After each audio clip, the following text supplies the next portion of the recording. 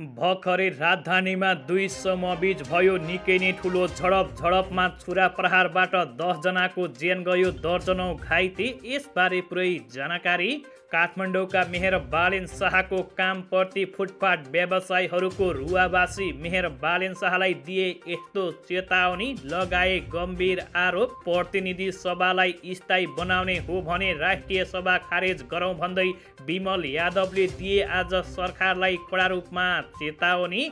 जनकपुरबाट राष्ट्रपतिलाई पुष्पकमल दाहाल प्रचण्डको कडा चेतावनी। यसपटक नागरिकता विधेयक प्रमाणीकरण नगरे जे पनि हुन सक्ने भन्दै पुष्पकमल दाहाल प्रचण्ड नेपालमा राजेन्द्र लिङदेन हर्ख सापाङ रवि लामी छानेर बालेन शाह जस्ता दसजना युवाहरू अरू हुने हो भने देशको विकास हुनेछ भन्दै पूर्व राजा ज्ञानेन्द्र शाह सङ्घीय सरकार विरुद्ध मुद्दा हाल्ने मुख्यमन्त्री पाण्डेको चेतावनी मुद्दा हाल्नुको मुख्य कारण यस्तो रहेको छ। यसबारे पुरै जानकारी मेटमोडी चौधरीको नेपाली काङ्ग्रेसलाई कडा रूपमा चेतावनी क्षमता भए एक्लै चुनाव लड्नको लागि भन्दै दिए कडा रूपमा चेतावनी। प्रधानमन्त्री शेरबहादुर देउवा चिन्तित। धरान उपमहानगरपालिकाका मेयर हर्ख सापाङ र काठमाडौँ महानगरपालिकाका मेयर बालेन शाह एक हुँदै अब यसरी काम गर्ने। यसबारे पुरै जानकारी नागरिकता विधेयक अब पनि राष्ट्रपति विद्यादेवी भण्डारीले रोकेको खण्डमा नेपाली नागरिकहरू सबै अनागरिक हुनेछन् भन्दै पुष्पकमल दाहाल प्रचण्ड यसरी गर्जिए। पर्यटन मन्त्रीले थुनाएका सुरक्षा गार्ड गुरुङलाई छिटोभन्दा छिटो रिहा गर्न गृहमन्त्री बालकृष्ण खाँडको कडा निर्देशन। पार्टीभित्रका व्यक्तिहरूले व्यक्तिवाद र स्वार्थी मान्छेहरूकै कारणले अब आउने निर्वाचनमा हार बेहोर्नु पर्ने भयो भन्दै पुष्पकमल दाहाल प्रचण्ड प्रधानमन्त्री शेरबहादुर देउवा र यी पच्चिस मन्त्रीले लुकाए सम्पत्ति विवरण किन सम्पत्ति विवरण सार्वजनिक गरेनन्? यसबारे पुरै जानकारी प्रधानमन्त्री शेरबहादुर देउवा र पुष्पकमल दाहाल प्रचण्डले एक अर्कालाई प्रधानमन्त्री स्वीकार्न नसक्ने मिलेन गठबन्धनमा कुरा। यसबारे पुरै जानकारी नेपाली सेनालाई भारतीय सेनाले सैन्य सामग्री हस्तान्तरण गर्यो। हस्तान्तरण गरे लगत्तै नेपालले भारतसँग यस्तो सम्झौता गर्ने नागरिकता विधेयक प्रमाणीकरणका लागि आजै राष्ट्रपति विद्यादेवी भण्डारीले यस्तो कदम चाल्ने देशैभरि छायो खुसियाली र जेलमा रहेका रमेश चौधरी बोर्दिया दुईबाट उम्मेद्वार सिफारिस। अब हेर्नुहोस् पुरा समाचार।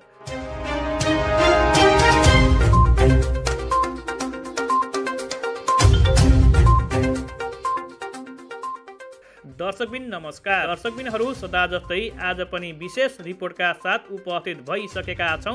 यो भिडियोलाई अन्तिमसम्म हेरेर हामीलाई साथ दिनुहोला। यदि तपाईँहरूले अहिलेसम्म पनि हाम्रो च्यानललाई सब्सक्राइब गर्नुभएको छैन भने हाम्रो च्यानललाई सब्सक्राइब गर्नुहोला र नजिकै रहेको बेल आइकन दबाएर हामीसँग निरन्तर रूपमा जोडिनुहोला। दर्शकबिनहरू समाचार सुरु गरौँ आजको पहिलो प्रसङ्गबाट। पछिल्लो समय नागरिकता विधेयकको विषयलाई लिएर निकै नै टिका टिप्पणी भए पनि आज राष्ट्रपति विद्यादेवी भण्डारीले नागरिकता विधेयक कुनै पनि हालतमा प्रमाणीकरण गर्न नसकिने भने लगत्तै आज पुष्पकमल दाहाल प्रचण्डले नागरिकता विधेयक प्रमाणीकरण नभएको खण्डमा अदालत जानेछौँ भन्दै कडा रूपमा चेतावनी दिएका छन्। दर्शकबिनहरू नेकपा माओवादी केन्द्रका अध्यक्ष पुष्पकमल दाहाल प्रचण्डले नागरिकता विधेयक यसपटक पनि राष्ट्रपति विद्यादेवी भण्डारीले प्रमाणीकरण गर्नै पर्ने उनले जानकारी गराएका छन्। सोमबार जनकपुर धाममा पुगेका मध्य प्रदेशमा रहेका माओवादी केन्द्रीय सदस्यको बैठकमा सहभागी हुन पुगेका पुष्पकमल दाहाल प्रचण्डले संविधान राष्ट्रपतिलाई एकपटक मात्र विधेयक फिर्ता गर्ने अधिकार रहेकाले अब नागरिकता विधेयक प्रमाणीकरण हुनेमा आफू ढुक्क रहेको उनले जानकारी गराएका छन्। उनले राष्ट्रपति विद्यादेवी भण्डारीले यसपटक पनि नागरिकता विधेयक प्रमाणीकरण गर्ने आलटाल गरेमा अदालतमा जाने उनले चेतावनी समेत दिएका छन्। उनले भने दुवै सदनबाट पारित भएर राष्ट्रपति कहाँ प्रमाणीकरणका लागि नागरिकता विधेयक गइसकेको छ र उहाँले पारित गर्नुपर्ने हुन्छ तर एक पटक फिर्ता गरेपछि राष्ट्रपति विद्यादेवी भण्डारीले अब अर्को पटक फिर्ता गर्ने अधिकार नरहेको र त्यस कारणले गर्दा राष्ट्रपति विद्यादेवी भण्डारीले नागरिकता विधेयक पारित गर्नुपर्छ भन्दै पुष्पकमल दाहाल प्रचण्डले यस्तो कुरा सार्वजनिक गरेका हुन्। दर्शकबिनहरू भर्खरै प्राप्त समाचार अनुसार राजधानी नजिकै दुई समूहबीच ठुलो झडप भएको छ र झडपमा छुरा प्रहार गरी दसजनाको ज्यान गएको छ भने दर्जनौ गम्भीर घाइते भएको समाचार प्राप्त भएको छ।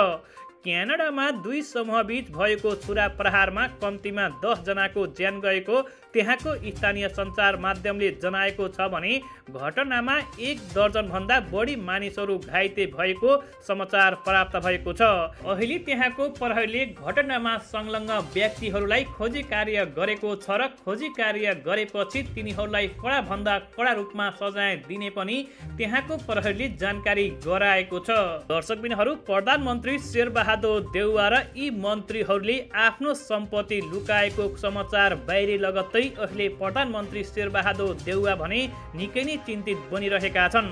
प्रधानमन्त्री शेरबहादुर देउवा लगायत सरकारका प्राय मन्त्रीहरूले आफ्नो परिवारको नाममा रहेको सम्पत्ति विवरण लुकाउने प्रयास गरेको समाचार बाहिरिएको छ।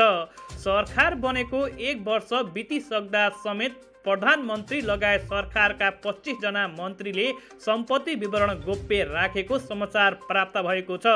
विगतका सबै सरकारका प्रधानमन्त्री र मन्त्रीहरूले आफ्नो र पारिवारिक नाममा रहेको संपत्ति विवरण सार्वजनिक गर्ने गरेका थिए भने तर वर्तमान गठबन्धन सरकारका प्रधानमन्त्री शेरबहादुर देउवा लगायत सबै मन्त्रीहरूले सम्पत्ति विवरण सरकारद्वारा नै गोप्य राख्ने प्रयास गरिएको समाचार बाहिरिएको छ।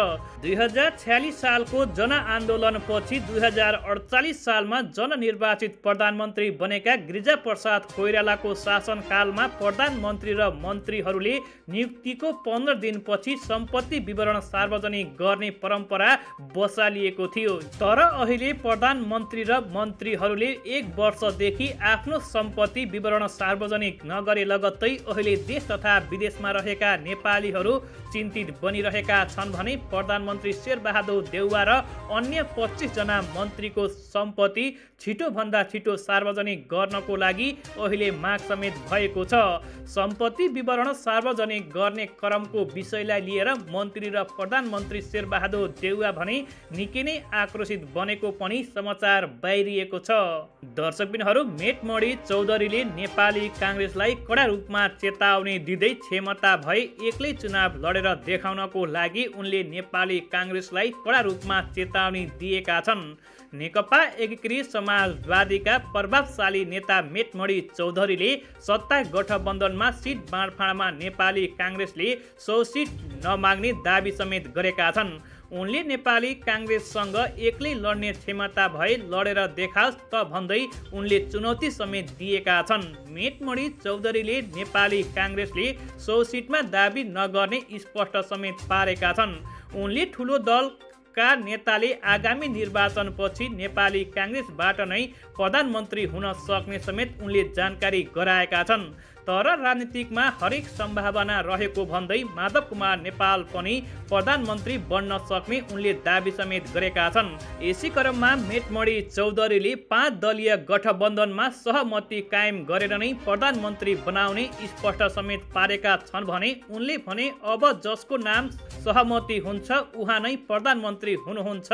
उनले नेकपा एमालेका अध्यक्ष केपी शर्मा ओली प्रधानमन्त्री नबन्ने ठोकुवा समेत गरेका छन्। उनले नेकपा एमाले आगामी निर्वाचनमा नेकपा एमालेको अस्तित्व नै मेटिने र नेकपा एमाले सबैभन्दा सानो पार्टी हुने पनि उनले दावी समेत गरेका छन्। उनले भने अबको निर्वाचनमा नेकपा एमाले दुई चार ठाउँ चुनाव जित्यो भने यो सबैभन्दा ठुलो उपलब्धि नेकपा एमालेलाई हुने समेत उनले जानकारी गराएका छन्। यसै क्रममा मेटमणि चौधरीले नेकपा एमाले समानुपातिकतर्फ मत ल्याए पनि प्रत्यक्षतर्फ एक सिट पनि नजित्ने उनले दावी समेत गरेका छन्। यो निर्वाचनमा नेकपा एमालेसँग सहकार्य नहुने पनि उनले स्पष्ट पारेका छन् भने तर चुनावपछि सहकार्य हुँदैन भनेर भन्न नसकिने पनि उनले जानकारी गराएका छन्।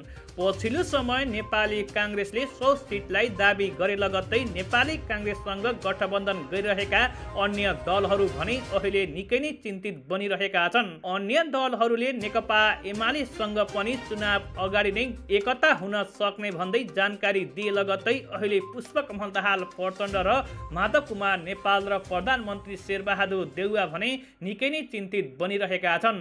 दिनदिनै चुनाव नजिकिँदै गर्दा सत्ता गठबन्धनभित्र नै विभिन्न किसिमका विवाद भइरहँदाखेरि अब आउने निर्वाचनमा आफ्नो पार्टीले हार्ने हो कि भनेर अहिले धेरै राजनीतिक दलका शीर्ष नेताहरू भने निकै नै चिन्तित बनिरहेका छन्।